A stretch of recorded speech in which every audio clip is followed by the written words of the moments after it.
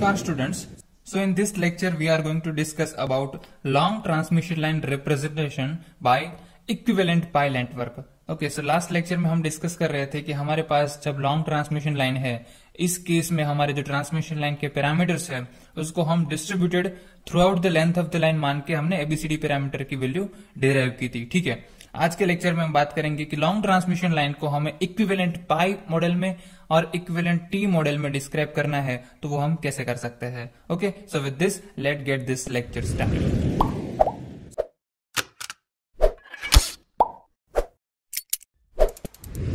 okay so यहाँ पे आप देख सकते हैं हमने आ, हमारी जो लॉन्ग ट्रांसमिशन लाइन है उसको नॉमिनल पाई मॉडल में रिप्रेजेंट किया है। यहाँ पे हमारा सेंडिंग एंड वोल्टेज है V S sending end current I S sending end voltage VR, uh, sorry, receiving end voltage and receiving end current VR and IR respectively. यहाँ पे हमारा ट्रांसमिशन लाइन का इम्पिडेंस है Z डैश ओके यहाँ पे हमने Z dash लिया है ये Z डैश की वैल्यू क्या रहेगी वो हमें फाइंड करना है और जब पाई नेटवर्क के बारे में बात करते हैं तो हमारा शंट एडमिटेंस है, वो half will be concentrated at the sending end and half will be concentrated at the receiving end तो उस केस में ये रहेगा y बाई टू और ये भी रहेगा y बाई टू ये y डैश की वैल्यू क्या है, वो भी हमें यहाँ पे निकालनी होगी, ठीक है? तो आज का हमारा टास्क होगा कि z डैश और y डैश की वैल्यू क्या रहेगी, जब हम लॉन्ग ट्रांसमिशन लाइन को इक्विवेलेंट पाई नेटवर्क में डिस्क्राइब कर रहे हैं, ठीक है?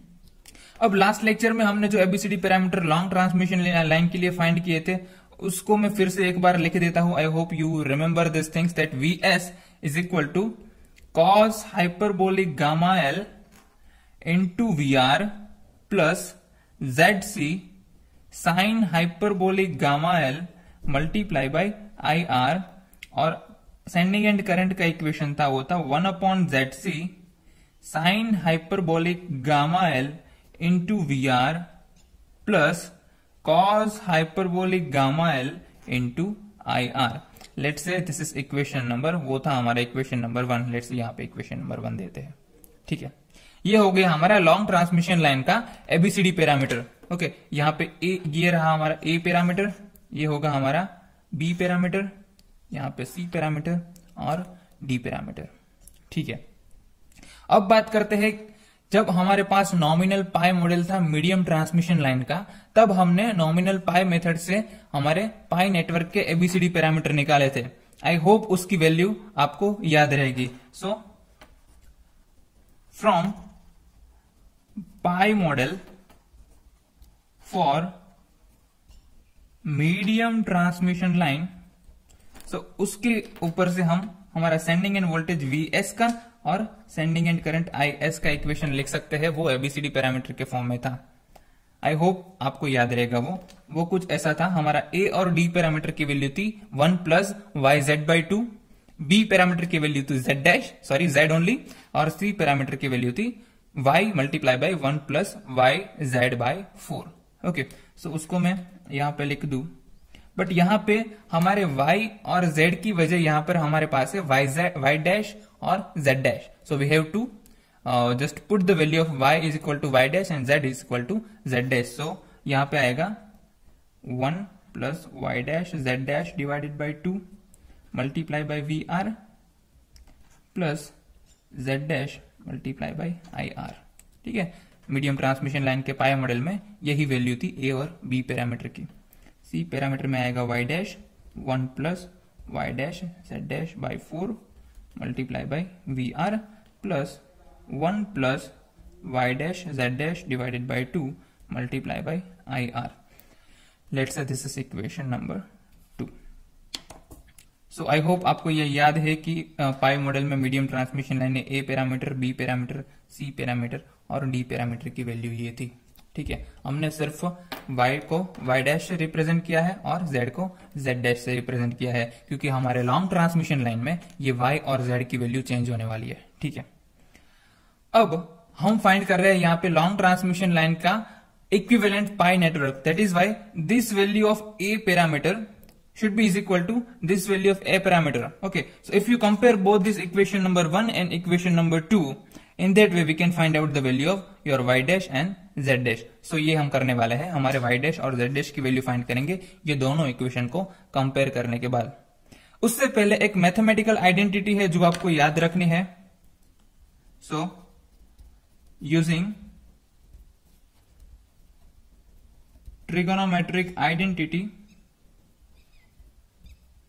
जो मैं आपको अभी प्रूव नहीं करने वाला हूँ, आप उसको प्रूव भी कर सकते हैं। That is tan hyperbolic gamma L by two I hope आपको दिखाई दे रहा है। Tan hyperbolic gamma L by two is equal to nothing but cos hyperbolic gamma L minus one minus one divided by sine hyperbolic gamma L ठीक है? तो tan hyperbolic gamma L divided by two is equal to क्या रहेगा? Cos hyperbolic gamma L minus one divided by sine hyperbolic gamma L इसको हम prove भी कर सकते हैं लेफ़्ट हैंड साइड और राइट हैंड साइड को, लेकिन अभी हमारा वो इंटेंशन है नहीं, आप इजीली इसको प्रूव कर सकते हैं, ठीक है? इसका यूज़ हम करेंगे जब हमें ये टेन हाइपरबोलिक गामा एल की वैल्यू चाहिए, तब हम ये यूज़ करेंगे, ठीक है? अभी आपको ये सिर्फ़ ध्यान में रखना होगा, ठीक है? तो अब हम क्या कर रहे हैं? हमारा जो इक्वेशन नंबर वन है, उसको इक्वेशन नंबर टू के साथ कंपेयर करते हैं. So let's start this okay so जब हम ये कंपेयर करेंगे तो हमें यहाँ पर ए की वैल्यू हम, हमारे पास यहाँ पर है one plus Y dash Z dash divided by two is equal to क्या रहेगा? Cos hyperbolic gamma L same way यहाँ पे मैं जेड डैश की वैल्यू निकालू तो जेड डैश की डायरेक्टली जो वैल्यू मिल रही है वो है Z C sine hyperbolic gamma L so इसे मैं पहले लिख देता हूँ। यहाँ पे हमारा जेड डैश की वैल्यू क्या है? Z C sine hyperbolic gamma L ठीक है? ये रही हमारी जेड डैश की value that is Z C sine hyperbolic gamma L okay इसको लेके हम आगे चलेंगे और हमें फाइनल मिलेगा जेड डैश की वैल्यू क्या रहेगी वो मैं अभी बता देता हूँ। उसको हम प्रूव करने वाले हैं। हमें जेड डैश की फाइनल वैल्यू मिलेगी वो है Z sine hyperbolic gamma L divided by gamma L ठीक है? ये वैल्यू हमें मिलेगी। लेकिन how to find this value ये वैल्यू कैसे आई? ये हम यहाँ पे डिराइव करने वाले हैं। सो so, यहाँ पे ध्यान दीजिए। ओके सो यहाँ पे हमें Z dash is equal to क्या मिल रहा है? Z C sine hyperbolic gamma L और हमें पता है what is Z C so Z C है हमारा कैरेक्टरिस्टिक्स इंपिडेंस और इसकी वैल्यू क्या रहेगी? The root of Z by Y last lecture में हमने डिराइव की थी Z C is nothing but root of Z divided by Y ठीक है। अब इस वाले इक्वेशन को मैं रूट जेड से मल्टीप्लाई करूँ और रूट जेड से डिवाइड कर दूँ तो क्या रहेगा हमारा फाइनल इक्वेशन तो ये root Z multiply by root Z आएगा हमारा जेड और under root of Y into Z ठीक है? अब under root of Y into Z ये क्या है? We know that is nothing but our propagation constant gamma gamma square is equal to Y Z so gamma is equal to root of Y into Z so यहाँ पे Z C के equation पे अभी रख दो. Z divided by gamma अब यहाँ पे आपको ध्यान रखना पड़ेगा, ये हमारा स्मॉल जेड है. ठीक है? अब इस वाले इक्वेशन को मैं एल से मल्टीप्लाई करूँ where L is nothing but your length of your transmission line हमारे पास लॉन्ग ट्रांसमिशन लाइन है, उसकी लेंथ से मैं मल्टीप्लाई करूँ और उससे डिवाइड कर दू. तो अब हमारे पास ये z इंटू एल रहता है, वो कुछ नहीं, हमारा है कैपिटल Z. और गामा इंटू एल वो, उसको रहेगा हमारा gamma into N only so Z C को हम लिख सकते हैं capital Z divided by gamma L यहाँ पे कैपिटल जेड है हमारा total impedance total impedance of your long transmission line ठीक है? अब ये जेड सी की वैल्यू यहाँ पे रख दो। सो हमारा जेड डैश मिलेगा हमें। Z divided by gamma L sine hyperbolic gamma L और ये वाले इक्वेशन को मैं लेट से कह देता हूँ इक्वेशन नंबर थ्री ठीक है? तो ये मिल गई हमें जेड डैश की वैल्यू यहाँ पे आप देख सकते हैं कि जेड डैश की वैल्यू क्या मिलेगी? Z divided by gamma L sine hyperbolic gamma L ठीक है? तो ये जेड डैश की वैल्यू हमें मिल गई। हमें और एक वैल्यू फाइंड करनी है, वो हैगी हमारी वाई डैश की वैल्यू उसको हम कैसे करेंगे? उससे पहले let me just give you कि हमारा आंसर क्या आने वाला है। Y डैश बाई टू हमें मिलेगा is equal to Y by two tan hyperbolic gamma L divided by two divided by gamma L divided by two ठीक है ये हमें आंसर मिलने वाला है। ओके सो स्टार्ट करेंगे फिर से। ये दोनों इक्वेशन को हमें कंपेयर करना है। सो so, यहाँ पे आप देखेंगे one plus Y dash Z dash divided by two is equal to we can write cos hyperbolic gamma L तो ए पैरामीटर से भी हमें ये पता चल रहा है और डी पैरामीटर को हम देखेंगे cos hyperbolic gamma L is equal to also we can write one plus Y dash Z dash divided by two so इसको मैं यहाँ पे लिख दू तो आपको मिलेगा one plus Y dash Z dash divided by two is equal to cos hyperbolic gamma L ठीक है? अगर इसमें से मुझे सिर्फ़ वाई डैश की वैल्यू चाहिए तो सबसे पहले मैं वन को इस साइड में ले जा रहा हूँ। So Y dash divided by Z dash sorry Y dash Z dash divided by two is equal to cos hyperbolic gamma L minus one ठीक है? अब ये जेड डैश को मैं डिनोमिनेटर में ले जाता हूँ तो ये मिलेगा हमें Y dash by two cos hyperbolic gamma L minus one divided by Z dash ठीक है? हमें वाई डैश की वैल्यू चाहिए, इसलिए हमने इस इक्वेशन में से वाई डैश को निकाल दिया। अब यहाँ पर हमारे पास जेड डैश है और जेड डैश की वैल्यू यहाँ पर हमने फाइंड की है। सो इस Z C sine hyperbolic gamma L की वैल्यू यहाँ पर रख दो तो हमें मिलेगा cos hyperbolic gamma L minus one divided by Z C sine hyperbolic gamma L ठीक है? अब मैंने एक आइडेंटिटी आपको याद रखने के लिए बोली थी, वो क्या थी? कि cos hyperbolic gamma L minus one divided by sine hyperbolic gamma L क्या होगा हमारा? Tan hyperbolic gamma L by two तो यहाँ पे आप अगर ध्यान दीजिए तो यहाँ पर आपको दिखाई दे रहा है, ये वाली टर्म क्या है? Cos hyperbolic gamma L minus one divided by sine hyperbolic gamma L तो इसको मैं लिख सकता हूँ tan hyperbolic gamma L by two ठीक है? तो ये मिलेगा हमें Y dash by two is equal to one upon Z C tan hyperbolic gamma L divided by two I hope you can say this ठीक है? अब, हमें पता है again what is Z C अब मैं यहाँ पे लिख रहा हूँ। What is Z C so Z C is again nothing but the root of Z divided by Y okay अगर इस वाले इक्वेशन को मैं रूट वाई से मल्टीप्लाई करूँ और रूट वाई से डिवाइड कर दूँ तो इसको मैं लिख सकता हूँ। यहाँ पे root Z into root Y रहेगा और डिनोमिनेटर में root Y into root Y क्या मिलेगा हमें? वाई ठीक है?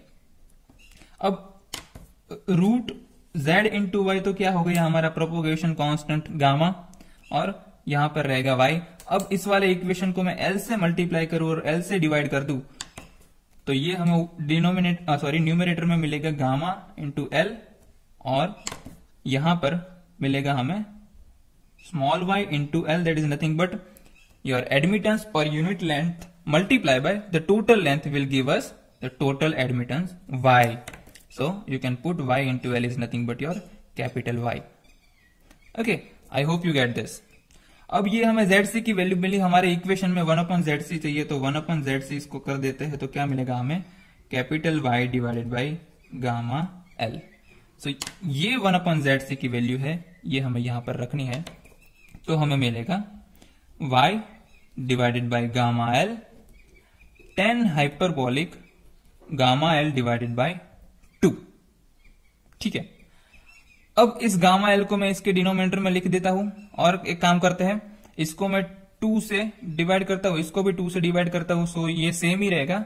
So what what we are doing we are multiplying this term by two and dividing this term by two so इसको मैं ऐसे भी लिख सकता हूँ कि y by two tan hyperbolic gamma L by two divided by gamma L by two ठीक है, ये हो गया हमारा y dash by two